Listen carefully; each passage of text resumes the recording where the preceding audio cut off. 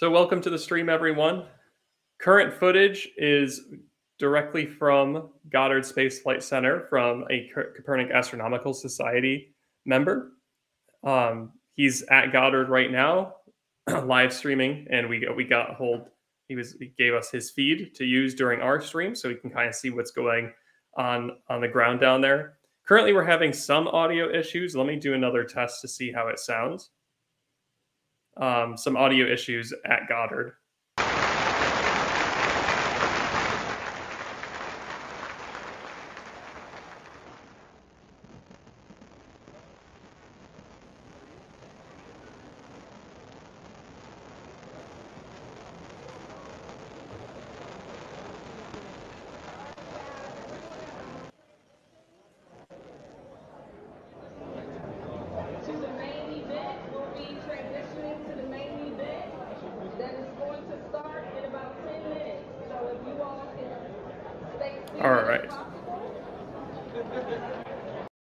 I'm going to mute that audio feed for, for the moment. Um, what you just heard was audio, and you're seeing the video both below me from one camera and to the uh, on the left side in the big window um, from another. He, uh, David Carter, his name is. He has two cameras set up there, and we're going to get audio feed from there as well, so we get an on the ground perspective on this too. Um, I will move over to the um, NASA feed as well as their show starts at around 10:30. Um, but for now, uh, we will uh, kind of see what's what's uh, going on uh, down at Goddard there. So if you don't know what Goddard did, Goddard is the uh, Goddard Space Flight Center, and this is actually where James Webb was assembled.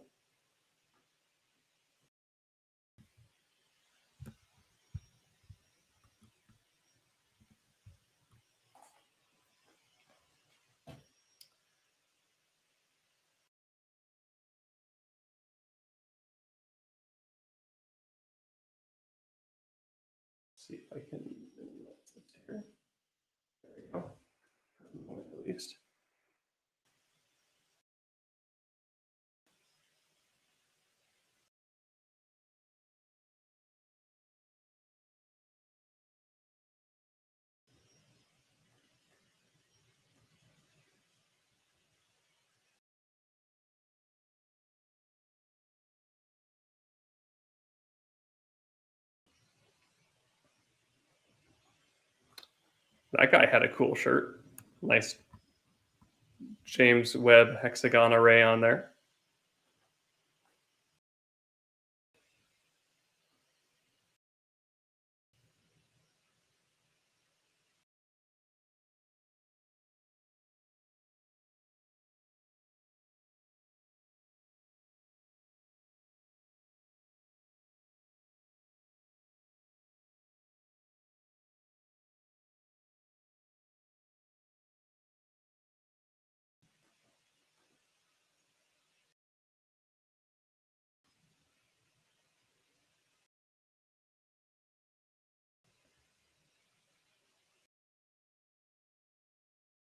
Now, if you, for those familiar with our previous live streams, you'll notice I am in the six inch observatory with our beautiful six inch refractor. Thought it would be a fitting venue to see what this massive six and a half meter telescope has to show for us today. Of course, uh, we did get to see a sneak peek at one of the images um, yesterday uh, during a special live stream. And we'll see that image again today. I look forward to hearing more about the uh, the specifics of what they have to say about it. We didn't really it really was just a first look.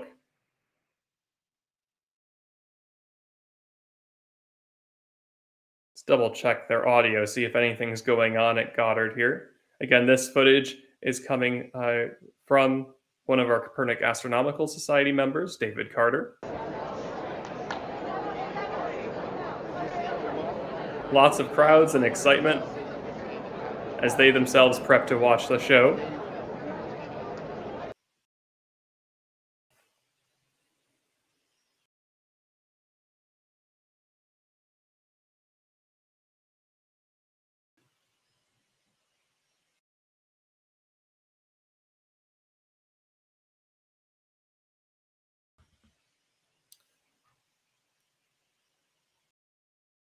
All right, why don't we take a moment to switch over to the other feed that will show us the official NASA live stream, just so you know what to expect for our stream today.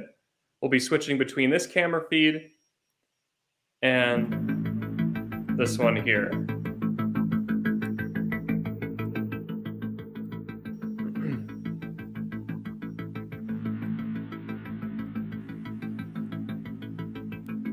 So this is the official NASA feed, and the show will be starting very soon now.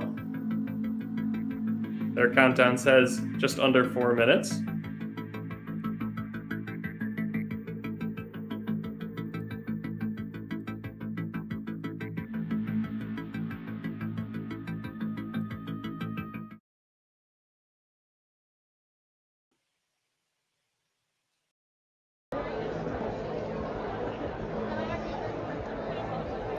During this this uh, I didn't catch it in time. I didn't start the stream in time. It was just before 10 when the administrator, the NASA administrator, uh, showed up uh, at that venue. At least I think so. I didn't. Uh, it sounded like him.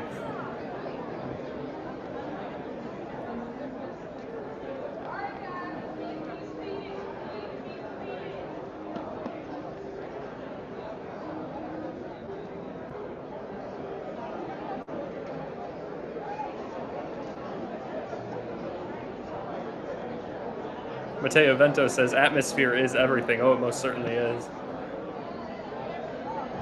James Webb has the clearest look at the universe that a telescope can possibly have.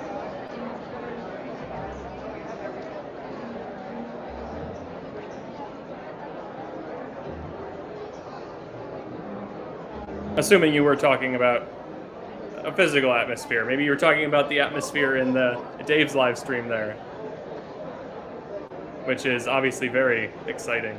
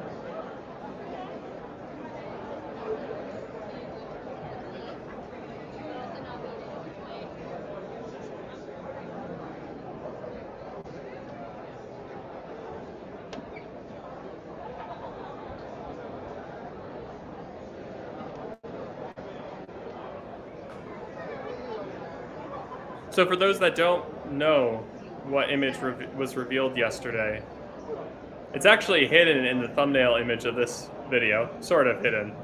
Um, it is one of the hexagons in our thumbnail today.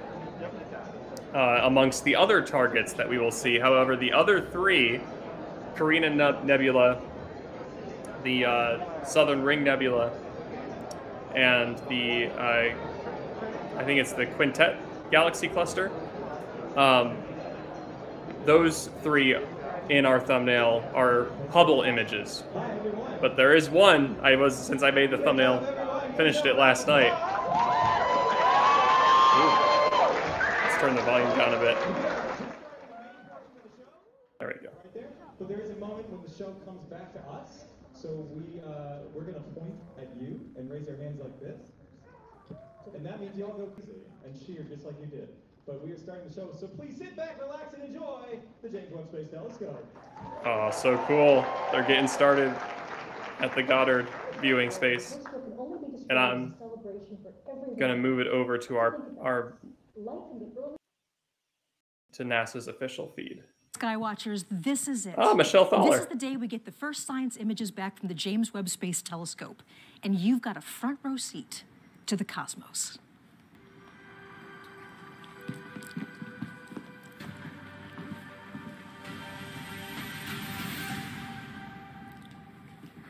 I'm Michelle Thaller, your host for what can only be described as a celebration for everyone on Earth. So think about this. Light from the earliest days of the universe has been traveling to us for billions of years. Just over the last few weeks, we've captured some of that light with a telescope that sees the universe in an entirely new way. And today we share the very first results. So, longtime space fans are going to know who this is. This is Dr. John Mather. He's the senior project scientist for the Webb telescope and a Nobel Prize winner. And John, I couldn't be happier to be here with you today. Thank you. It's a thrill to be here for this very special day. How are you feeling? I am thrilled and I'm relieved because you know, when you start something this big, you know there's always a possibility it might not work. It did work. We are so proud. And you've been on this project for a very long time, right? Yeah, started in 1995. We had just finished measuring the Big Bang. We measured it with the Cosmic Background Explorer satellite that we built right here at Goddard. And we measured the spectrum. We measured there are hot and cold spots in the Big Bang. So we said, now we know it all, how it all got started. But then what happened after that? So then I got a call from NASA headquarters. Would I like to work on this new telescope that's going to help answer those questions? What happened after the Big Bang? How did the galaxies grow? How did the first black holes grow? What happened all the way from there to here? So this is our time machine, and I just wanted to be part of it.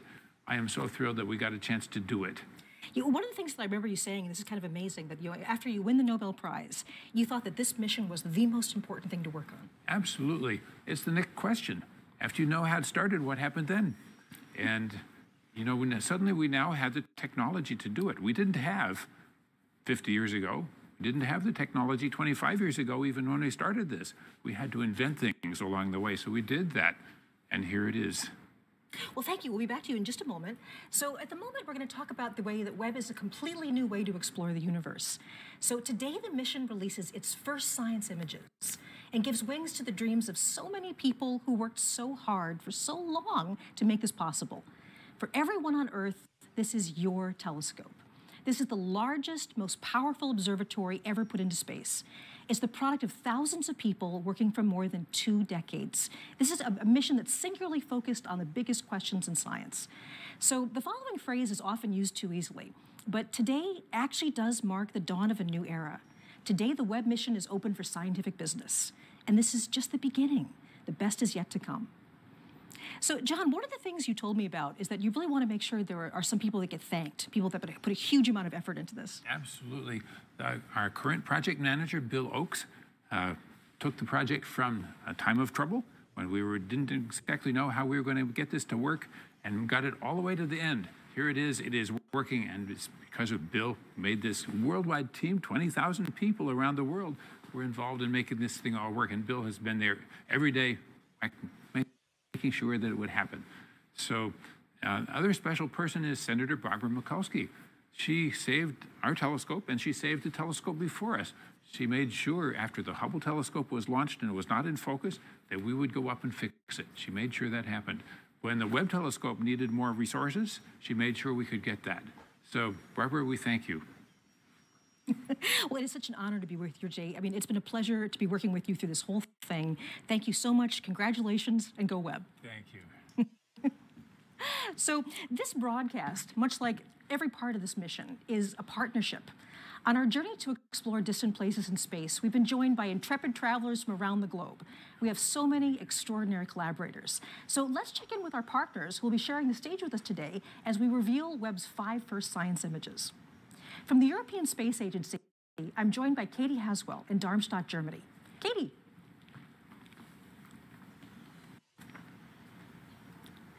Ah, I see Katie in the background there. also joining us from the Canadian Space Agency in Montreal, we have Nathalie Ouellette and Sarah Gallagher. Bonjour. Ah, I see Katie in the background there. I see the waving too. and so naturally, we're also going to be visiting the nerve center of this mission, the Space Telescope Science Institute, on the campus of Johns Hopkins University in Baltimore, Maryland. And there we have Alex Lockwood and Karl Gordon, and they're going to give us updates and more. Good morning. Great. So we'll be back with our international partners shortly, where they'll each reveal one of the new images. But today we're also going to be joined by millions of science fans from around the world. Many are gathered at watch parties just for this event. So here we are really That's going us. international. So I'm beginning with Bhopal, India. Do we have a signal from Bhopal? Yes. Excellent. Welcome to NASA. Hello, everybody there. Yeah. Wonderful to be talking to you today, all the way in India.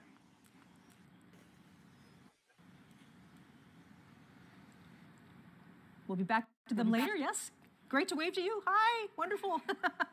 and we're all. we also. It's good to see we're not the only ones with technical issues. so we have them from Portland. Bit dark, but I see everybody there. Hello, Portland.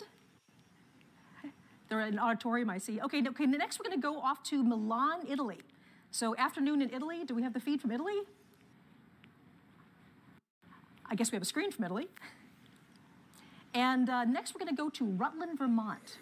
So is this Vermont? Hello, Vermont. Hi, everybody. nice to see you. Thank you for being part of this today. Okay, going even a little bit further afield, we have Netanya, Israel. Hello. Hello, Israel. Yay. really nice to see you guys. Okay, and just one more for now. Uh, I, I, see people like giving me hugs. okay, we also have Vancouver, Canada. Hey, Vancouver. Hi. All right. Ooh, wonderful. Cool. Wonderful to have all these people with you. So, right across from the campus from me, there's also a huge watch party taking place with members of the Webb team. So, the wonderful thing is that they actually are people that have worked on the mission and they are part of our NASA Funny family. so, hello, hello, Webb team.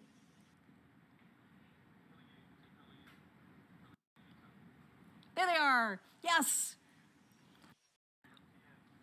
a lot of people I recognize there. So it's incredibly important to me personally, and also to all of us at NASA, that the universe belongs to everyone. And we are thrilled to share this day with fans everywhere around the world. We'll say hello to some more later in our broadcast. So now it's time to start the main event. What you'll see over the next hour will be a collection of images newly processed by the Webb Science team. Only a tiny handful of experts have seen the images so far, and I can tell you that we have been so excited to unwrap them for everyone. We'll be releasing each image in turn in real time.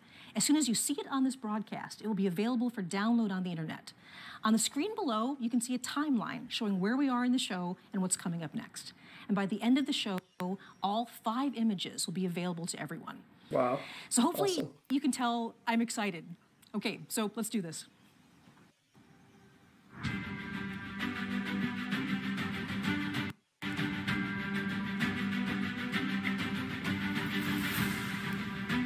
Love the hexagons. Just love that design so much.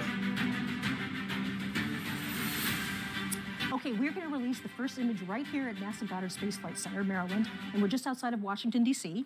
NASA Goddard is home to the project office of the Webb Telescope. And the observatory portion of the telescope, the, the, mirrors and the science instruments, were integrated and tested here before launch. So for many of us, including myself, seeing Webb come together bit by bit right in front of our eyes was an emotional and very inspiring experience. So it's kind of like a part of us was out there with Webb right now. A million miles away, part of our hopes and dreams are out there. So I'm joined now by Jane Rigby, the operations project scientist for the Webb mission. And she's a familiar face for people who've been following this before. So welcome, Jane. Hi, Michelle. Okay, so Jane, you not only get the honor of revealing the first image, but th this actually got a little bit of a sneak preview. I understand there was a very select audience who's already seen the image. Yes, so last night, uh, on behalf of the project, I had the privilege of traveling to the White House uh, with, the Nelson, with the NASA Administrator Nelson and other senior staff to share our first image with President Biden and Vice President Harris. And it, it was really fun. Oh my gosh. Um, where uh, they really geeked out. We had a closed door session where we got to walk through all the images and just share the excitement. And they were so thrilled and they got the profundity of what we're seeing. And so now we're gonna, we're gonna, let's do it. Okay, we've got the whole world watching. Are you ready to put the first image up? Oh, let's do it, let's do it. Absolutely. All right, here we go. Ah, okay. So the first there, image. This is, is the one we field. saw. And it's also yesterday. a deep field with a cluster. So why don't we walk through this just a little bit? So if we come up and look at this image, first of all, it's really gorgeous, yeah. and it's teeming with galaxies. And that's something that has been true for every image we've gotten with Webb. We can't take blank sky. Everywhere we look, there's galaxies everywhere. And so, you know, this, gal this, this image, as we're looking at it, what we're seeing is not just all the galaxies, but there's a cluster here. And so the cluster are all these white, kind of ethereal galaxies.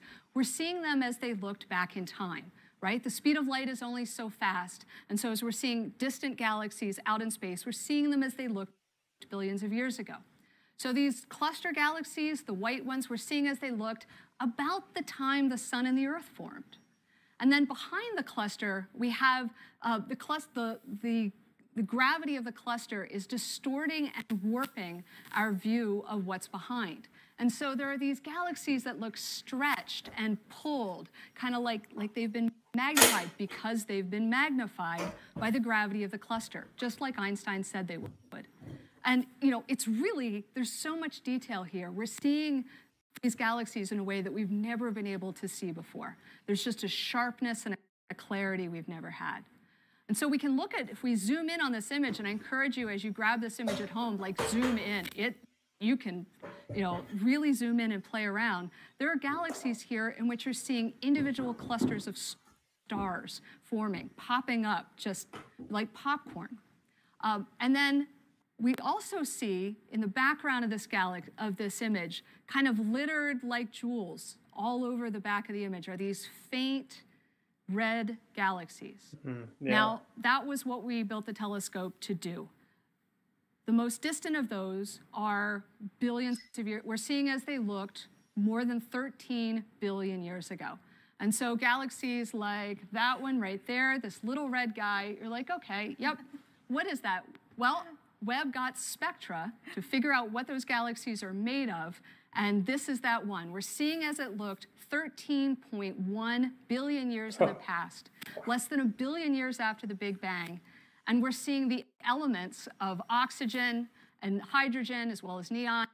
You know, this is the kind this is how the oxygen in our bodies was made in stars, eh, in galaxies, and we're seeing that process get started. Yeah, I just I want to give this a little bit of context. So this is now the farthest away galaxy that we have this sort of detailed information about. That we know what it's made of. We know like what it's that. made of. Yes. And this was not a long exposure for Webb. No, the, the, the, the, pre the previous record holder, right, the Hubble uh, Extreme Deep Field, mm -hmm. was two weeks of continuous work with Hubble, and it was just imaging. With Webb, we took that image before breakfast. The amazing thing about Webb is the speed at which we can churn out discoveries. So everything that you're going to see here in this broadcast is a week, and we're going to be doing discoveries like this every week. That is absolutely incredible, Jane. So thank you so much for joining us. I, it's been an honor to be working with you. Congratulations on all your hard work. Thank you. It's so wonderful to see it pay off. So thank you, and I'll see you later on today, I hope. So yes. enjoy the day. Thank you. Right. So from distant galaxies, we now turn our eye to something a bit closer. It's a planet, but not one in our solar system. Remember that Earth and its sibling planets aren't the only show. I hear there is bu possible buffering on our audience's end. Um, Bale says he's experiencing buffering. Anyone else experiencing buffering? Let me know. I'm going to send it now to our friends Nathalie Ouellette and Sarah Gallagher at the Canadian Space Agency in Montreal. So again, bonjour.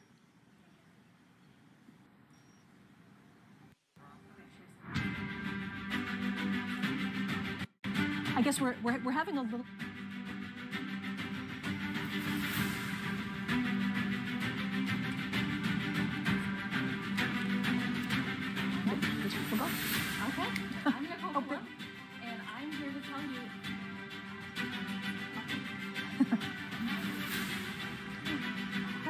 Sorry for the brief uh, pause there. We're now going over to Canada.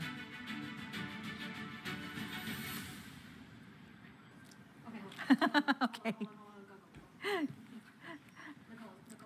Yep, we're all ready. Okay, I apologize. We're having some trouble with the signal from Canada.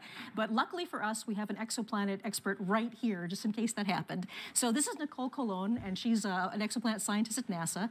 And we're going to talk about this amazing new result from a very hot planet, I understand about a thousand light years away. That's right. The exoplanet is named WASP 96b, and it is this hot, gaseous, giant, puffy planet that it is about a thousand light years away. So that's why today's release is so exciting because it teases at what Webb is able to do for such a distant Absolutely. So talk us through what this discovery is and, and why this is so significant. Oh, buffering's done. Okay, well, good. This, I'm glad to hear it. Uh, reveal that you're going to see is going to show the first spectrum of an exoplanet as taken from the Webb telescope. And this is exciting because it covers infrared wavelengths of light that we have not had access to before. So we've been able to use other telescopes to explore exoplanet atmospheres in the infrared, but not to this level of detail. And this is just one sliver of data that Webb is providing us using the NIRISS instrument specifically.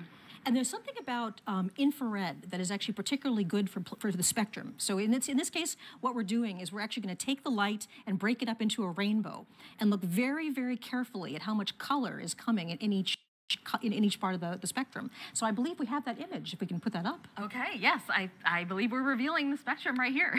so we now have our spectrum, and this is exactly what you're seeing. As you just described with spectroscopy, what we did what was we observed here. a transit of an exoplanet.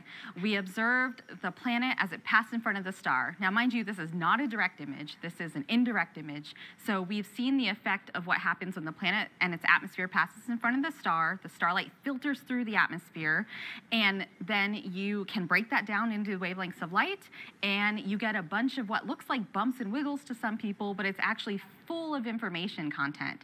So you're actually seeing bumps and wiggles that indicate the presence of water vapor in the atmosphere of this exoplanet. So we have the spectrum up here. Is there anything mm -hmm. you'd like to, to highlight particularly? Yeah, absolutely. So we have um, several features marked here. So I call them features. They're these what I just referred to as bumps and wiggles.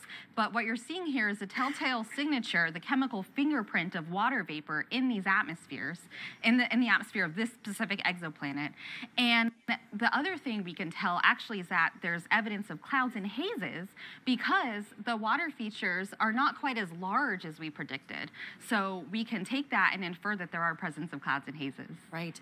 Now, one thing that we really want to make sure people understand is with this particular planet, this is a hot world. It's actually close closer to its star than Mercury is to our sun. Mm -hmm. And so we're not looking at liquid water here. But we're, looking instead at, at, at, sort of steam, water vapor. Yes, this is a an exoplanet. It's a, about the size of Jupiter, about half the mass of Jupiter.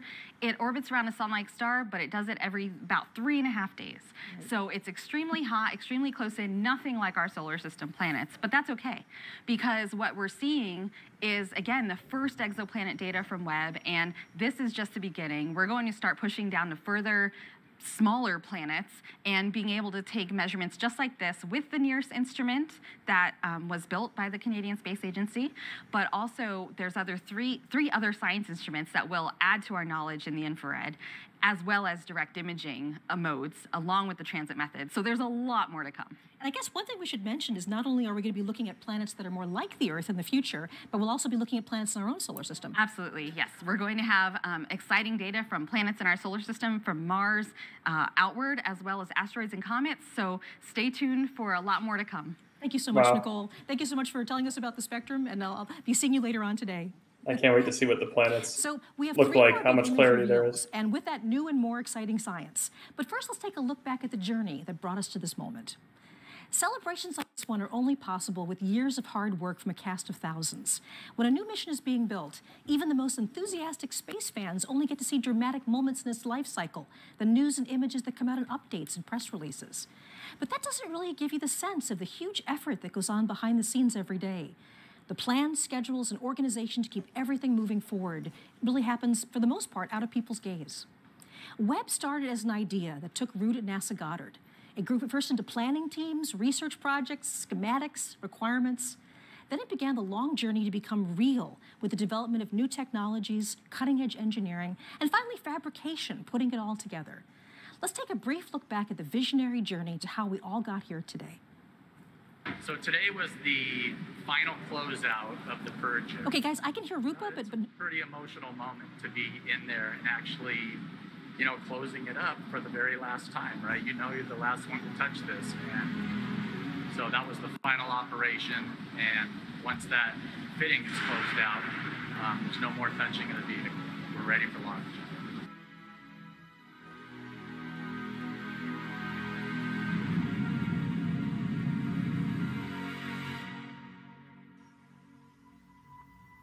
The James Webb Space Telescope born from the desires of astronomers, achieved with newly invented technology,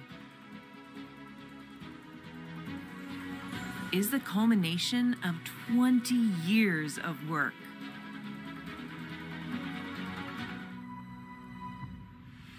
Humanity has unlimited questions about our universe. Engineering a way to investigate them requires enormous creativity. Webb has been a trade off between engineering performance, the, what the astronomers want, risk. In fact, when we started 20 years ago, we were actually looking at an 8 meter telescope. Developing the most sensitive instruments. And testing, and more testing. That's for sure. but you got to do it.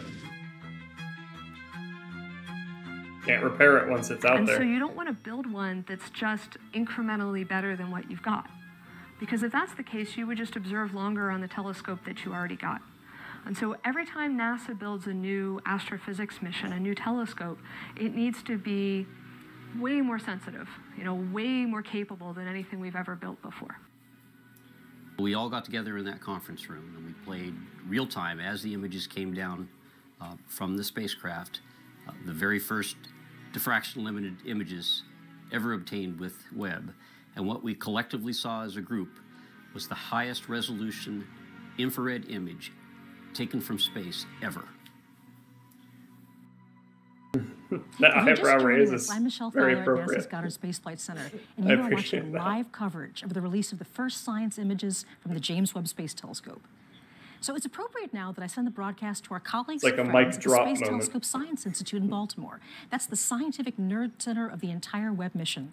So hello, good morning, Alex. The show is yours. Hey, Michelle. Welcome to the Space Telescope Science Institute. I'm Alex Lockwood, and I'm here with Karl Gordon, who is an astronomer and one of the key people in delivering the images that you're going to see here today. But actually, before we get into the amazing images, we're going to talk a little bit about where we are. We're standing here outside of the Mission Operations Center, which is the key central hub for Webb. For the past six months, scientists and engineers have been working 24 7 since they took control of the telescope 30 minutes after launch to prepare for today and for the amazing science to come. Through all of the major deployments, focusing, aligning the telescope, and calibrating those four amazing science instruments, it was all done in this building. And from here on out, we'll have daily communications with the telescope, including sending commands and downloading data with the help of the Deep Space Network. In addition to mission operations, we are also the home of science operations. Well, what does that mean? Every year, we solicit proposals from astronomers across the country for, and the world, for what they would like to look at with Webb. Then we hold a rigorous selection process to select the ideas that will best utilize Webb to study and understand our universe. When the data come down and astronomers analyze their results, we are the lucky ones who get to share that data and those amazing science results with you. And we knew that today was going to be so exciting with the first images, so we've actually been preparing for years. Here is Klaus Pontoppidan, project scientist for Webb and the technical lead for the first images, Yeah, it's been a years to tell you about the process of the past I look few back years and of my first email targets. related to the uh, the first images was back from 2016. Uh, so back then, uh, a committee was created, and this committee was charged with coming up with a long list of targets for the first images. And the reason for that is that the observatory can't see the entire sky at any given time. And this is because you want to avoid the mirror seeing direct sunlight to keep it cold. And it actually had to be quite a long list. We ended up with about 70 targets from which we had to select only a handful. You know, what would create the most beautiful images, what would highlight the instruments, the four different four science instruments for Webb, and what would highlight the four uh, major science themes for Webb. And it's a celebration as well of the beginning of science observations. And we knew that selecting the images was just the beginning, that we would need a trained eye to take these exquisite data and pull out the beauty and the science potential. So here's Joe DePasquale and Alyssa Pagan to tell you about how they processed these beautiful images.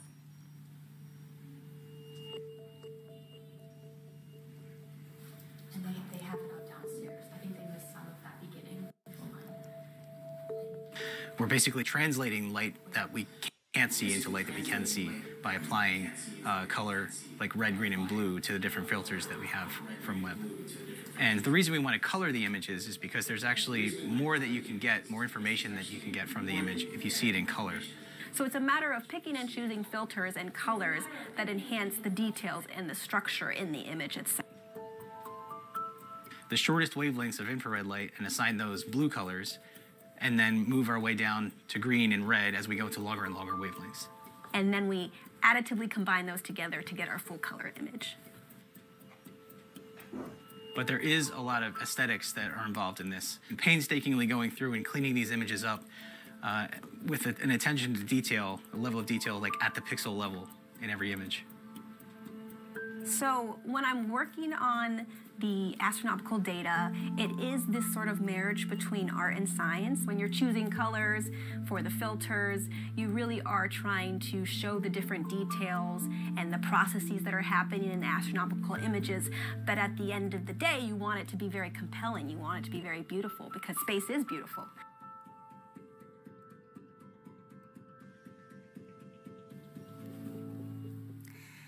And after those images were processed, there was a select few of us, very lucky few of us, who got to see the first images. Those is downscaled by a factor of four. Exactly. So just to make it a little more more handy. So it's actually higher resolution. So we have a team of about 30 people who are producing these images, and we feel incredibly privileged to be the ones who are the first to see these science-like images. When when we saw the first data come down of real targets, people were speechless and there were emotions because we immediately we could see how amazing this observatory will be. The detail the sharpness the depth. And when we saw the first color images we knew that we had a winner And now we are ready to see Webb's first image of a star dying, a planetary nebula called the Southern Ring. Let's do it. Wow. Wow. Wow. This this near infrared image is wow, the detail. Oh. Just keep go. Just keep zooming. you can go further. wow. Okay. Well, here we are. We have a near infrared image on our left, or on maybe your right. and here on the right, we have a near infrared image. Um, and so I'm here with Karl, our, our astronomer uh, specialist. Can you tell us what we're looking at in these images? So this is a planetary nebula. It's caused by a dying star that has expelled a large fraction of its mass over in successive waves. Okay, so we actually see those waves in these images. Yes. Um, wow, wow. And so there's a lot of structure. Can you tell us a little more detail about what we're looking? Maybe start with this one on the left. Yeah. So in the in the NIRCam image, you see this kind of bubbly, uh, you know, almost foamy appearance throughout the whole nebula with some very structured uh, shells. But the and this foaminess is showing up in orange mainly, and this is this is due to the molecular hydrogen that's newly formed in the expansion, uh, just lighting up the gas and dust of this nebula. And then as we move inward, you see this kind of very uh, blue haze in the inner region. And this is actually due to very hot ionized gas that emits well in the blue um, that's heated by the core, the leftover very hot core of this star. And what about these like rays that I'm seeing in this image? Right there. So there's also rays in the outer regions that you can kind of see, and these are holes in the inner nebula that are actually allowing the, the central star's light to come out and kind of light it up like, uh, you know, patchy clouds with the sun shining through. Wow. Oh, yeah, that's what it looks like. That's so cool. Um, so you're actually a mid-infrared astronomer, which is different than near-infrared. And so what can you tell us about the details in this mid-infrared image? So this is, it looks quite different in color, um, partly because we're, we're seeing different kinds of physics going on here. So we're actually seeing in the blue, you see a lot of blue. The blue is actually due to hydrocarbon grains that are emitting very strongly in the blue for MIRI. And they show the very similar structures to what we see in orange and NIRCam because the, the hydrocarbon, the molecular hydrocarbon actually forms on the surface of dust grains. And so again, as we move inward, we, we see that, the inner region is again hot ionized gas, but now it glows red because that's where it emits longest for the strongest for Miri wavelengths. Okay. And then as we go into the center, we see kind of the surprise for us, which is we knew this was a binary star, but we, we effectively didn't really see much of, the, of the, the actual star that produced the nebula. But now in Miri, this star glows red because it has dust around it.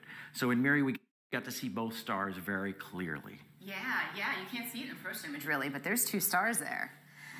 So that's a fun surprise. Um, and I think that there's another little Easter egg you want to tell us about? Yeah, so this was uh, the Easter egg is this kind of uh, narrow filament up in the up in the top that's radially aligned. You can kind of see it very clearly in the Miri image. It shows up as this blue blue structure, and it points very much to the central sources. So I thought, oh, this must just be a density enhancement in the outer nebula. I thought that very, very strongly, but other people on the team were like, no, it's a background edge on galaxy. Well, I made a bet that said, no, it's part of the nebula. By the way, I lost the bet because then we looked more carefully at both the NIRCam and MIRI images, and it's very clearly an edge on galaxy with a wow, that's cool. and a bulge. So I lost the bet. Well, you lost the bet, but you got these gorgeous images, so I think it's a win for everybody. And Anything else you'd like to say today? I can't wait to see where we go from here. Uh, neither can I. All right. Thanks so much. Back to you, Michelle.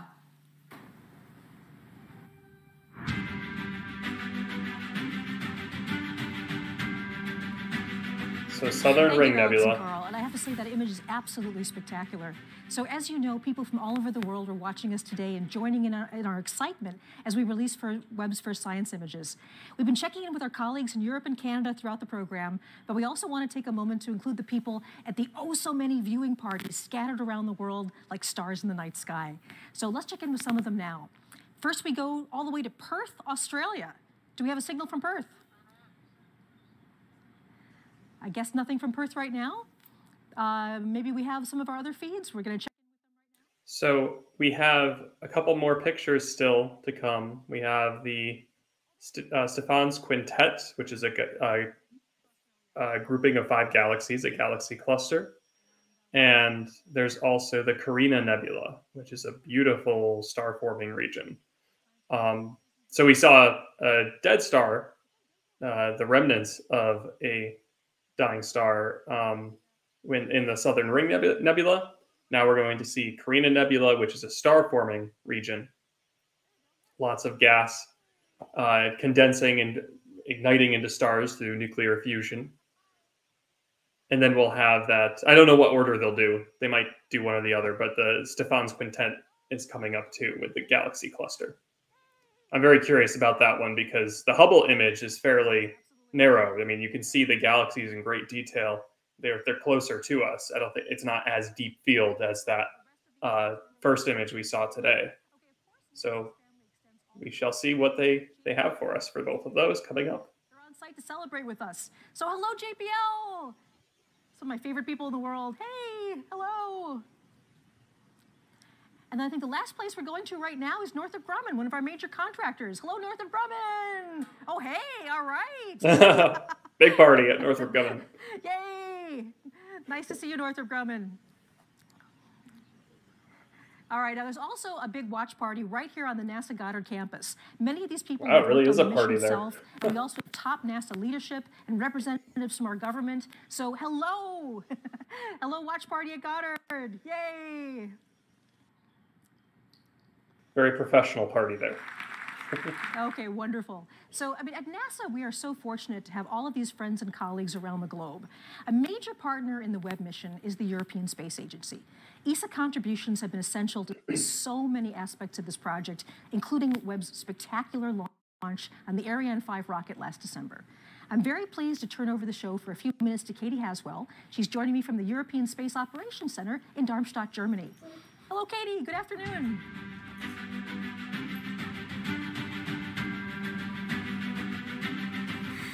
Thanks, Michelle. Thank you, Michelle, and welcome to Germany. We're at the European Hey, just a note, Space guys, I'm still getting all kinds of IFB from lots of Center. It's where the teams effectively fly the satellites. They're a little bit uh, of a cross between air traffic controllers and uh, pilots. We have lots of different control rooms here. This is the main control room, and as you can see today, it's not in use. So we've been lucky enough to uh, move in here for today. I have two very special um, experts with me, both scientists from the European Space Agency. Uh, uh, Giovanna Giardino is a NIRSpec scientist. Giovanna is, uh, has been working on that for, for many years and lots to tell us about that. And Mark McCaughrean is a special advisor for space, for science and exploration. These two guys have been working on the Webb Space Telescope for a long time. So we're very grateful to have you with us. Thanks, folks. Um, We, we are excited to reveal our image with you. But before we do that, we thought we'd give you a little bit of background um, because we've come here today uh, because these guys were the first ones uh, to pick up the signal uh, during the uh, Webb launch, when Webb first launched. They run a system called ESTRACK, which is NASA's deep space uh, tracking system, and they were listening out when Webb called home. And uh, the controllers here have been looking after a whole very, very impressive list of missions since uh, 1968. ESA has played a very, very important role during the Webb uh, for the Webb Space Telescope. They provided the launch on board the awesome Ariane 5 launch vehicle from the Guiana Space Center. The atmosphere in the Mission Control Center was uh, electric, I can tell you. I was there. Um, they've also provided people. We have 15 ESA scientists working at uh, Space Telescope in Baltimore, and also they have provided the um, uh, infrared uh, spectrograph. The near infrared spectrograph, and also half of the MIRI instrument, which is the mid infrared instrument. Let's take a look at those now. Webb's four scientific instruments include NIRSpec, the near infrared spectrograph led by ESA. NIRSpec splits near infrared light from astronomical objects into its components. Like a barcode, this will help scientists understand the physics of the objects they're observing, from their temperature to atomic makeup. NIRSpec can observe parts of an object or the sky using an image slicer and an array of microscopic shutters. Webb's integrated science instrument module, located behind the main mirror, also contains MIRI, a mid infrared camera and spectrograph. Seen here during testing, MIRI's been developed by a partnership between Europe and the US. MIRI detects mid infrared light from planets, stars, and galaxies. It can analyze molecules to help us deduce what astronomical objects are made of and peer into clouds of gas and dust where stars and planets are born. Together, these instruments will help Webb detect and analyze light from the very dawn of time, revealing the universe as never before. So, so let's get ready to reveal our image. And remember that one of Webb's jobs is to find out about galaxies, more about the galaxies, but also to help us to understand how they change. And this image is going to be very, very useful for that. Let's reveal it now. There it is. It's called Stephan's Quintet, and it's wondrous. Oh. Giovanna, what are we looking at? Yes, like it's a quintet, so we are looking at five galaxies. Galaxies are uh, this giant structure that, as we've seen, we see everywhere around us in the universe. They contain from million to hundred billions of stars, and in fact, we live in one of them, the Milky Way. And here we see uh, five of them. This is a, a closer um, a galaxy uh, in the foreground, and these four are uh, at a distance of about uh, uh, 300 uh, million light years from us, and are locked in a close interaction, a sort of cosmic dance driven by the gravitational force. Um, you can see here these two uh, in a process of merging uh, within each other.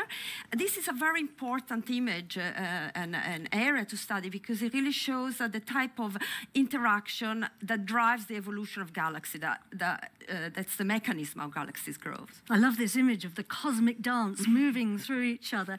Uh, Mark, there's a lot going on though in this image, isn't there? There is. So this is a near-infrared image and a mid-infrared infrared image combined.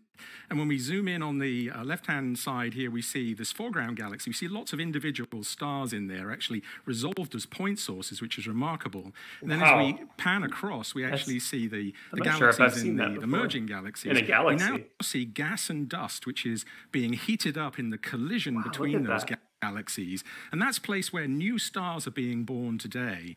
So we're actually seeing the process of creation of new stars in this region. And then when we look in the background here, we see not only the galaxies at 300 million light years, but also stars in our own galaxy, these um, snowflake uh, structures that you see here, those are nearby stars, but in the corner and around the edges, we see galaxies which are much, much more distant, much further away. So similar in some sense to the ones that we saw earlier on in that deep field. And so this image actually takes us from the nearby galaxy, our own Milky Way, through these galaxies which are evolving today, all the way to the distant universe. And in a way, it captures cosmic evolution of galaxies over those 13.8 billion years. So we have another image, don't we, that we can exactly. So, so if we strip away the near-infrared view there of the stars, predominantly now in the mid-infrared with Miri alone, we see mostly gas and dust. So we see the same galaxies again, the two merging, and then we also see something very interesting up at the top here because this top galaxy has something new and bright in the middle of it. And Giovanna, tell us what that is. Yeah, that's uh, an active black hole. We cannot see the black hole itself, but we see the material swirling around, being swallowed by these sort of cosmic monsters, and gets uh, this gas gets heated to extremely high temperature as it falls onto the black hole, and it becomes very bright. In fact, this is is the galaxy. Here we see uh, luminosity that are 40 billion times the luminosity of our suns. It's really, really bright. And uh, with NIRSpec, we can zoom into this area, and we have this technology that allows us to take uh, thousands of images at different wavelength channels. Uh, so see the, uh, the, the, this distribution of the gas, what's going on in the gas uh, in different regions uh, of, the, of this core area and understand the, the composition of the gas, the velocities, um, the temperature. So that's very important to understand the physics. So it's, it's giving us so much information and it just shows the power of this telescope. Mark, this is just the beginning though, isn't it? I think that's a very important takeaway from today. You know, we these are like pictures just taken over a period of five days, and every five days we're getting more data which will contribute more in that in that direction. It's a culmination of decades of work but it's just the beginning of decades. And you know what we've seen today with these images is essentially that we're ready now. This telescope is working fantastically well. And you know to, to, to borrow a phrase from a famous rock musician you know we're ready to turn this telescope up to 11 it really is time. It's fantastic. Thank you very much indeed both of you. Back to you michelle there's that quintet. So we have that. Brilliant Thanks, image. It's so great to have you and your colleagues with us on day.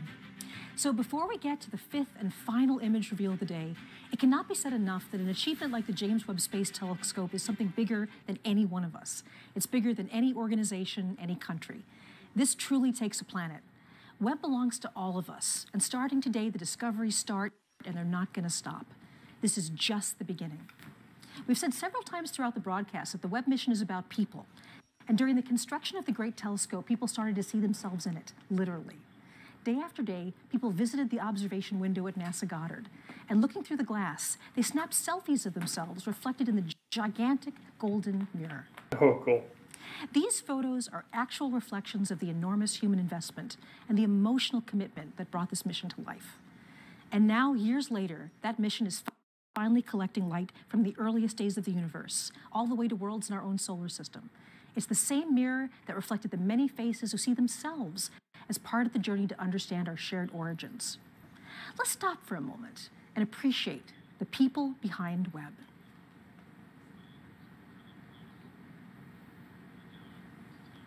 Okay, it's time now for the last image to be revealed. Here we go. Carina Nebula.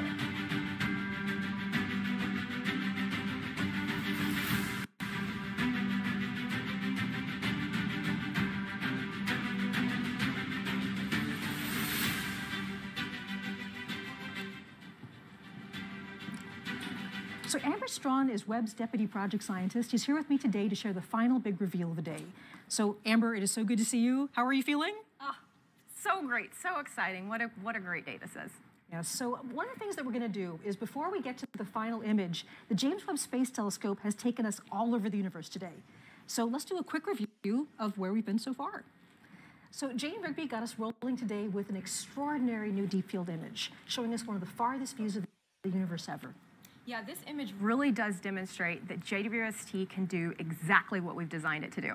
Yes. And uh, the Canadian Space Agency then took us to the massive planet WASP 96b, where the team has detected evidence of atmospheric water. And here again, we're seeing the incredible efficiency of this observatory. We're able to do these kind of measurements in a fraction of the time that we are, were able to before.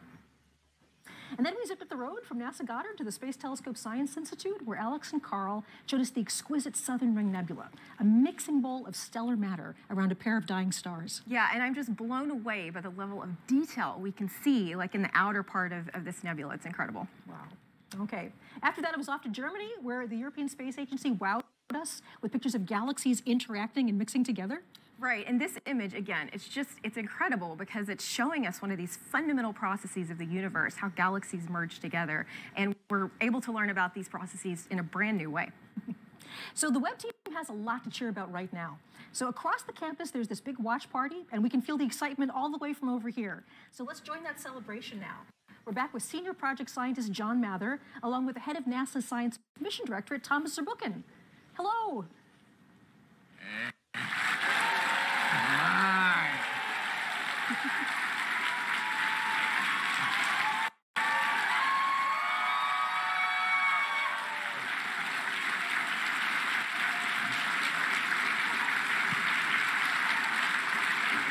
So, uh, John, we looked around the world and we're the only ones with a cheerleading crew right over there. That's amazing. Uh, look, uh, you've been with this mission for decades. Uh, how do you feel today? I am so thrilled and so relieved. This was so hard. I bet. And we took, it took so long. Um, it's just impossible to convey how hard it really was.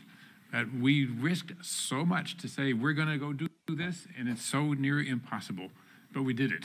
Yeah, there are thousands way, thousands of ways this can go wrong. Uh, many of them, uh, you know, we worried about and, and frankly feared even after launch. I have to tell you, I was really, really nervous. And, you know, it's almost like athletics for me. You always get to know the team when they're on the field.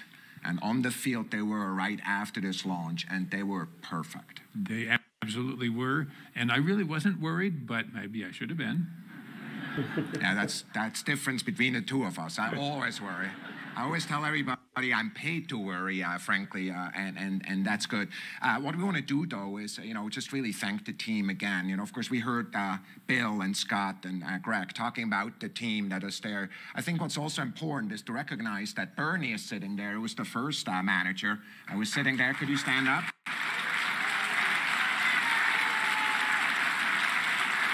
And. And I want to mention that Phil Sabelhaus, who is a manager uh, also during that time, is no longer with us, but uh, his heart is with us today. Yeah. I have to tell you, I have to tell you, John, uh, after each one of these milestones, I called a lot of people. I called Bernie, for example, and I called uh, people at my job and people uh, who are administrators because there's many of them. And I just wonder how you feel about the team. Just uh, give you the word here. I am just so thrilled that we had a privilege to assemble such a brilliant team.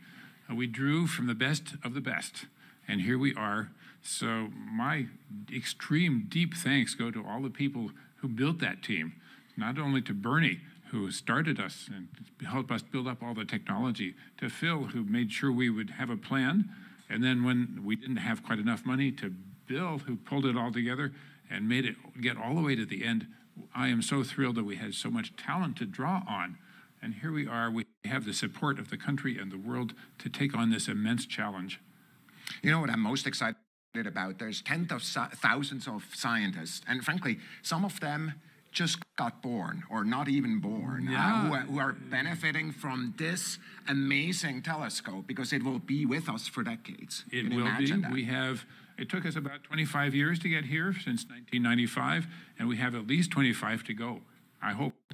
So look, uh, we are in a sense of awe of these images. The art that is out there in the sky revealed for the first time. We're thinking of the team and we're thanking them. John, thanks to you. Thanks to all of you. And back to Michelle. Thank you so much, Thomas. And this entire collection continues to just absolutely astound me. Okay, Amber, so here it is. Can you walk us through the final image reveal? Absolutely. Here we go.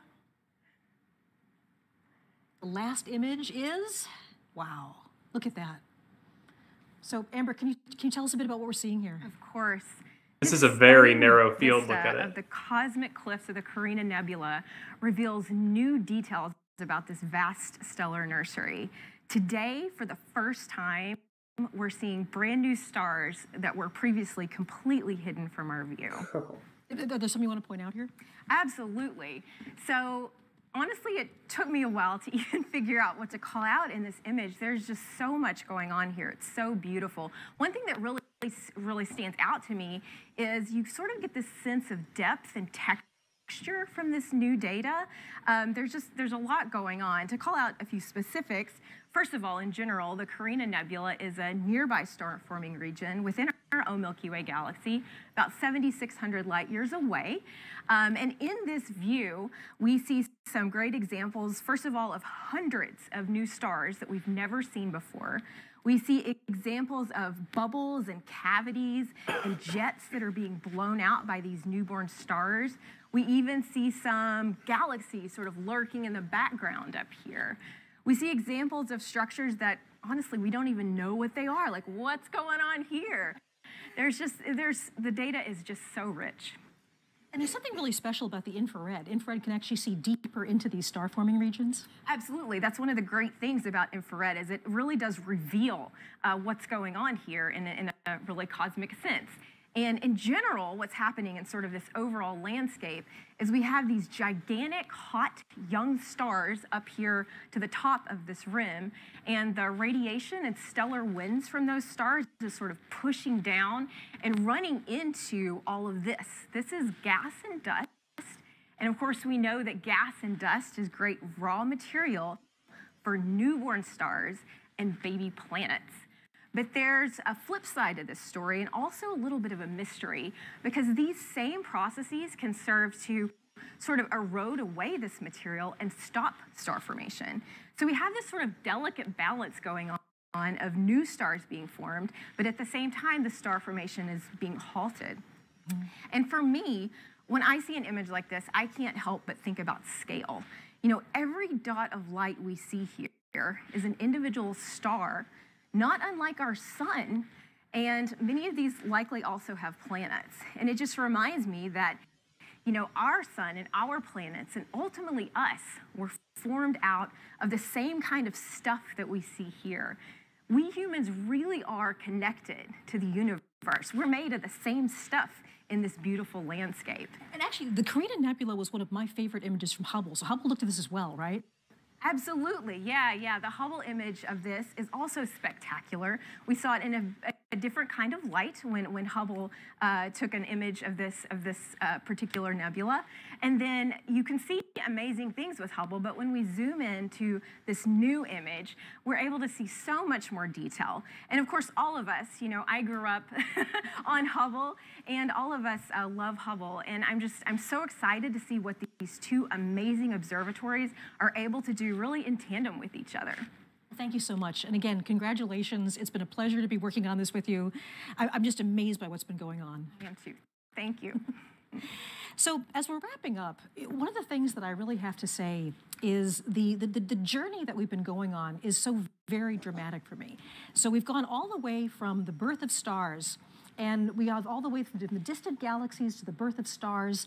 This is where we all began. This was the whole point of the James Webb Space Telescope, to figure out our origins from the very, very early days of the universe to star and planet formation very nearby. So right now, I'm very honored to have our last special guest. Uh, this is the administrator of NASA, Bill Nelson. An honor to be with you, sir. Hey, what a pleasure. What a, what a banner day. Uh, it's clear that Webb represents the best of NASA. It maintains our ability to propel us forward for science, for risk taking, for inspiration. And we don't want to ever stop exploring the heavens nor stop daring to take another step forward for humanity.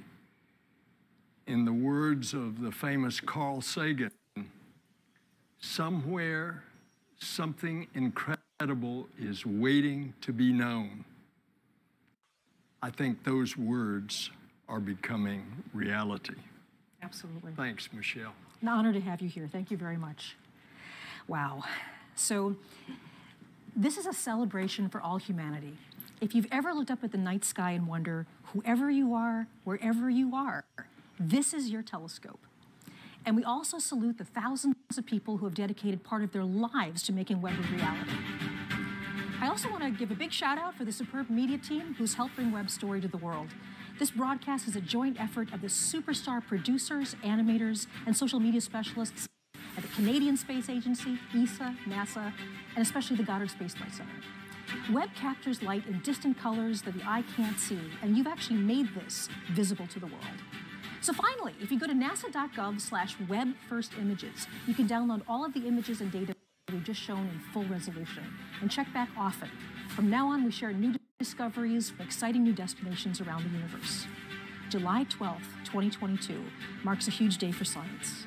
And it's only just the beginning. For everyone at CSA, ESA, and NASA, I'm so very pleased you could join us. I'm Michelle Thaller. Go Webb.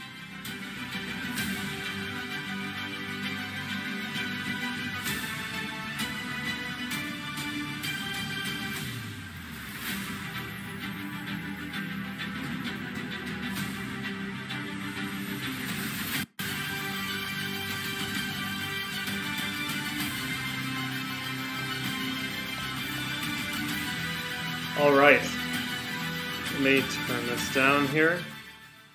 So, yeah, uh, what a presentation that was. Uh, I actually think uh, uh, Dave Carter from the Kopernik Astronomical Society is, uh, you can see him below right here. I'm going to switch to the two camera feeds. Oh, you know what? For some reason, that's not going to work. So let me just lower this down and I'm going to see if he has anything to share with us. Let's see if the audio is working. Hmm.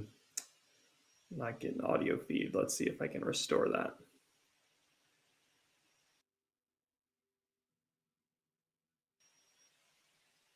But he, like I said, Dave Carter is there at Goddard Space Flight Center where they were making these announcements and where James Webb Space Telescope was constructed and tested. Um, yeah, I'm not getting not getting audio from him.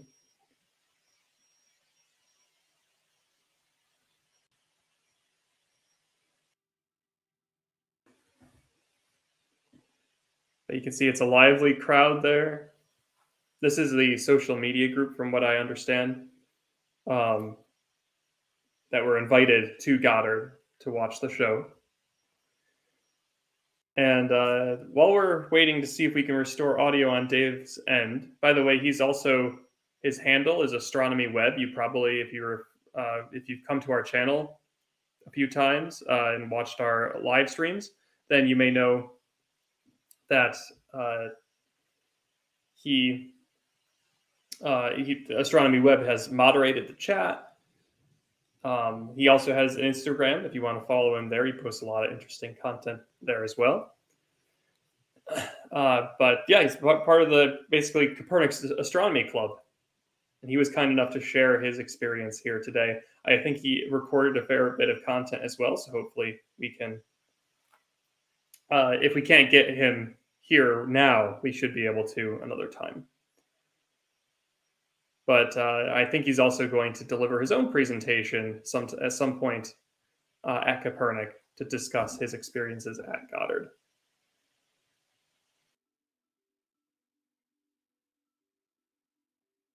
Let me try refreshing his feed to see if I can pull that audio. Fresh cache.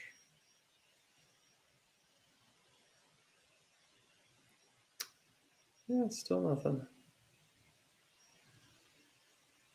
Anyways, I'd love to hear if you have any questions or interesting uh, comments in the chat. Go ahead and post them now. I'd love to chat with you for only a few minutes here about what we saw today.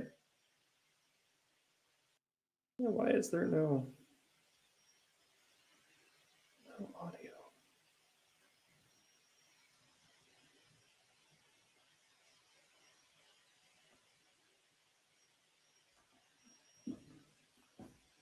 can see he's in, just like me here, he's in the classic Kopernik blue shirt. Looks like he's getting some content there.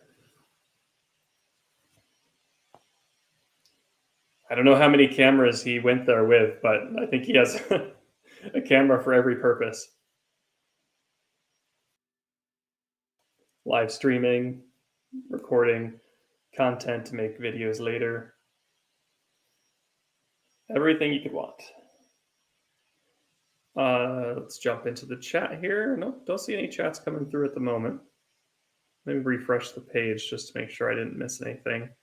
Um, I saw many of you were just uh, along for the ride, enjoying all the excitement. Uh, you know, I see comments from Shock here saying this shows what the what the sciences can accomplish when provided resources, and hopefully this gives incentive to young people to study sciences. I couldn't agree with those uh, points more. Um, when when you fund these projects and put the right people in charge, this is what you get out of it. Um, and this observatory, you know, they they only come once every, you know, thirty years or so. Um, so it's fantastic we have this, and not only that, we have Hubble and James Webb together in space. Two really sophisticated observatories. Of course, James Webb is more capable, but they are going, like, like they said, they're going to work in tandem. So it's uh, just phenomenal. Um, uh, Kay asks, what is the significance of finding water vapor in uh, the exoplanet gas giant? So that was that WASP uh, exoplanet. Um, I can't remember its exact number, uh, catalog number, but um, yeah, it's that, that's a great uh, question there, and uh, that's something that they want to hunt down throughout any exoplanets uh, around parent stars. Because if one planet has water, it's likely other planets have water too. Oh, we might be getting audio here. Hang on.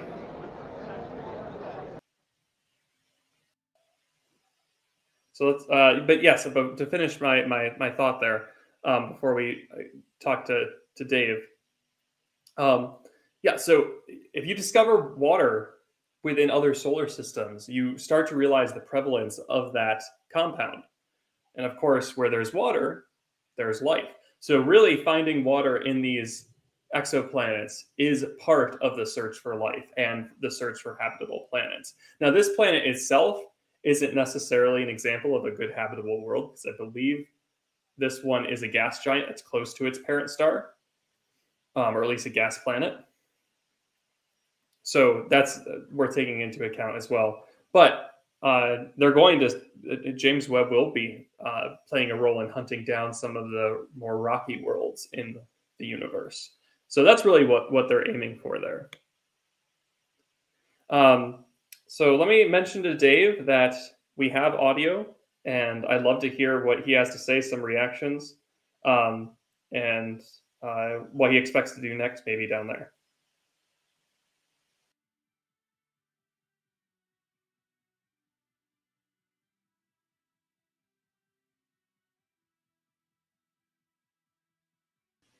Oh, he might have to go actually.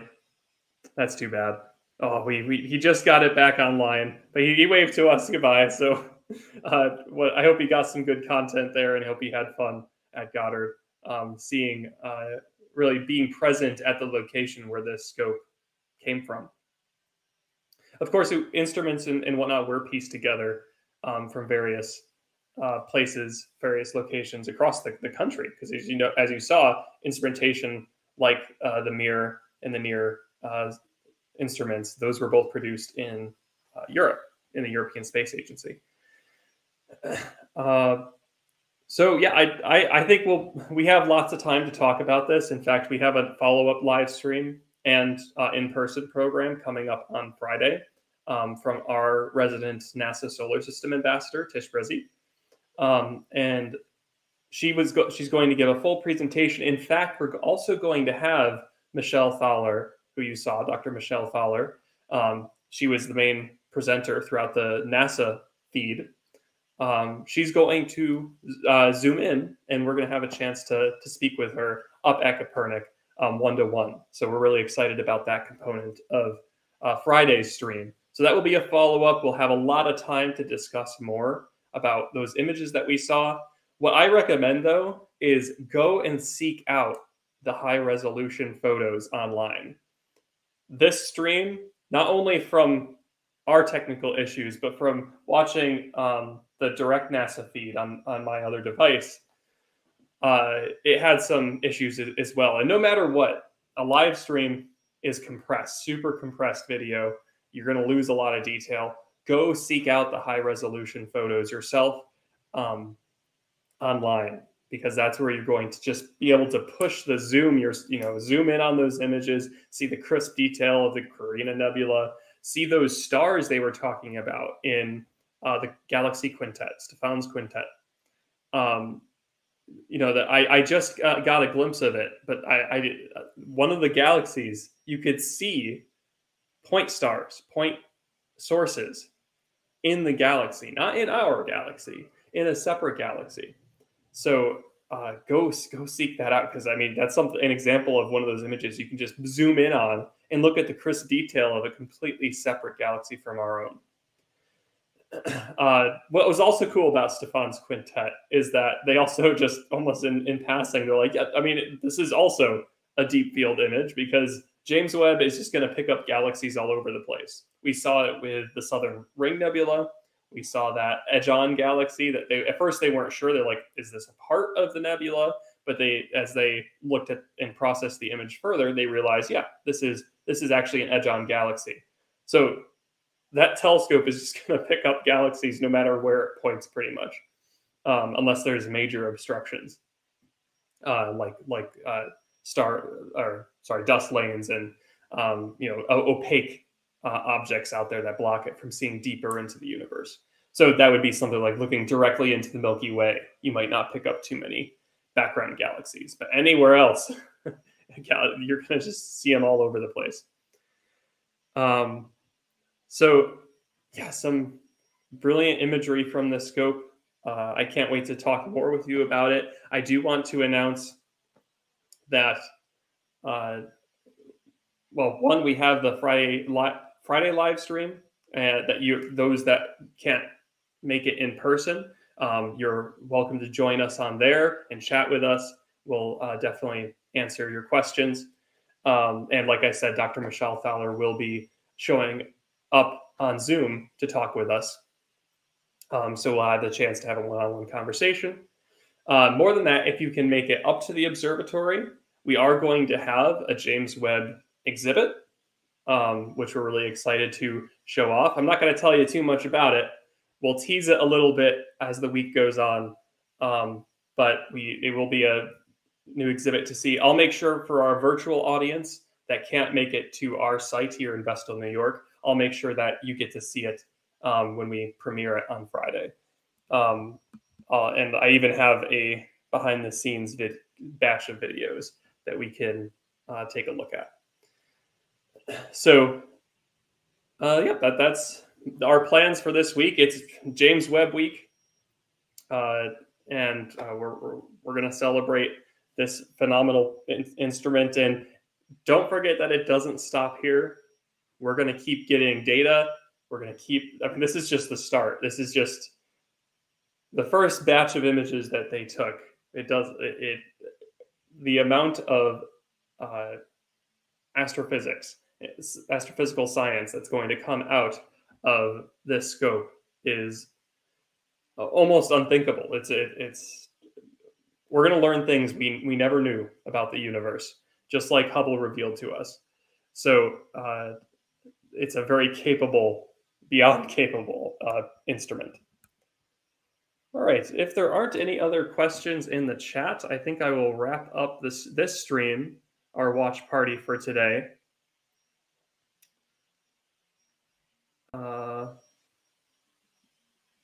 Oh, uh, Raven says, uh, I just downloaded the full size Carina Nebula image from NASA and it's gorgeous zoomed in. Oh, that sounds brilliant. I will have to take a look at that myself. Um, uh, yeah, I'll have to take a look at that my, my myself uh, when I leave the stream today. I'm going to download all those images and just take go in depth on you know zooming in, seeing how much detail there are. I mean, they're going to be super high resolution photos, so I can't wait to dive into them. Well, thank you, thank you, Mark, for tuning in. Uh, yeah, so uh, we'll we'll have future live streams coming up very soon now. Um, this Friday is the, uh, the the the next one, at least that we have we currently have planned. And just look out for ways we reach out to you um, on YouTube and our social media. Our social media links are in the video this video's description. Um, great way to collaborate and just see how we're reacting and responding to all this uh, James Webb excitement. And uh, yeah, well, thank you for so much for watching. I'll have to touch base with Dave and we'll see what content he got down at Goddard um, when he visited there today. Uh, but otherwise, we'll see you on the next stream. Thanks again.